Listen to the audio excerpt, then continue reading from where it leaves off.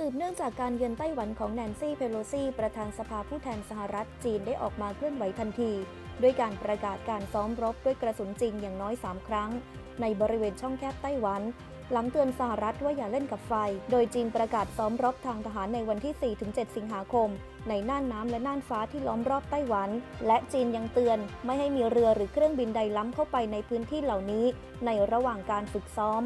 ล่าสุดสำนักข่าว RTI ของไต้หวัน ภาคภาษาไทย รายงานว่า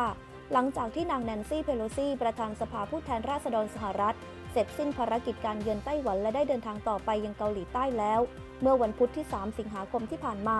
กองทัพปลดแอกประชาชนจีนเริ่มทำการซ้อมรบด้วยกระสุนจริง 6 จุด รอบเกาะไต้หวันเป็นเวลา 3 วัน ตั้งแต่ 12 นาฬิกาของวันที่ 4 สิงหาคม ถึง 12 นาฬิกาของวันที่ 7 สิงหาคม โดยการซ้อมรบดังกล่าวเท่ากับเป็นการปิดล้อมไต้หวันทั้งทางน้ำและทางอากาศไปโดยปริยาย นายหวังกัวใช้ รัฐมนตรีว่าการกระทรวงคมนาคมไต้หวันกล่าวว่า ไต้หวันมีเที่ยวบินระหว่างประเทศได้รับผลกระทบวันละประมาณ 300 เที่ยวบิน แต่อย่างไรก็ตามกระทรวงคมนาคมได้หารือกับประเทศญี่ปุ่น และฟิลิปปินส์เพื่อประสานความร่วมมือขอใช้เป็นเส้นทางบินเลี่ยง เพื่อให้เครื่องบินสามารถบินออกจากไต้หวันได้ ขณะที่เที่ยวบินภายในประเทศยังไม่ได้รับผลกระทบ ด้านการขนส่งทางเรือหวังกัวชายกล่าวว่า เนื่องจากเส้นทางเดินเรือไม่มีการกำหนดที่แน่นอน ดังนั้นจึงค่อนข้างอิสระโดยที่ผ่านมา วิธีการจัดการคือให้หลีกเลี่ยงเข้าใกล้บริเวณที่มีการซ้อมรบ ซึ่งเมื่อวันที่ 3 สิงหาคม 65 ทางกรมท่าเรือ ได้ประกาศแจ้งพื้นที่ที่ควรหลีกเลี่ยงให้เรือขนส่งสินค้าได้รับทราบแล้ว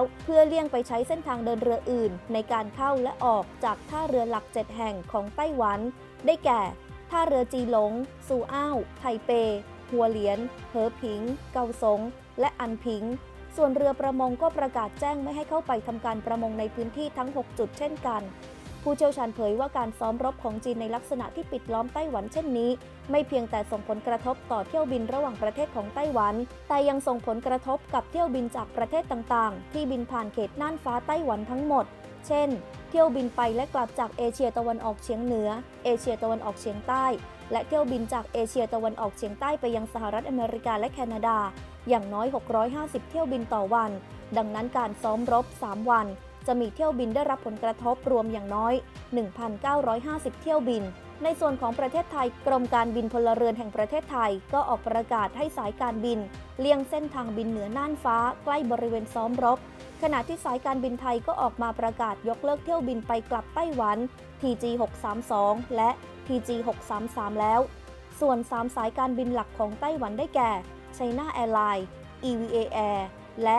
Starlux Airline เบื้องต้นยังไม่มีการประกาศใด ๆ ก่อนหน้านั้นนายสุทธิพงษ์คงภูลผู้อำนวยการสำนักงานการบินพลเรือนแห่งประเทศไทย หรือกอพท เปิดเผยว่าจากกรณีที่ทางการจีนได้มีการประกาศเตือนสายการบินต่างๆ ที่ให้บริการในทวีปเอเชีย หลีกเลี่ยงเส้นทางการบินเหนือน่านฟ้าใกล้กับไต้หวันนั้น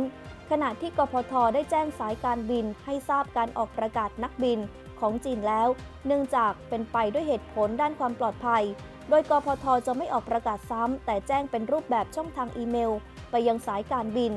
ว่ามีการออกประกาศนักบินบริเวณพื้นที่นั้นๆ นายสุทธิพงศ์กล่าวต่อว่า ส่วนแนวทางการเปลี่ยนแปลงเส้นทางบิน เพื่อหลีกเลี่ยงพื้นที่ซ้อมรบต้องแล้วแต่สายการบิน ในการจัดการเส้นทางการบินสำหรับสายการบินของไทยที่บินผ่านบริเวณพื้นที่ที่ทำการบินไปยังเมืองไทเป ไต้หวัน มี 3 สายการบินได้แก่ สายการบินไทยไลออนแอร์ให้บริการ 4 เที่ยวต่อสัปดาห์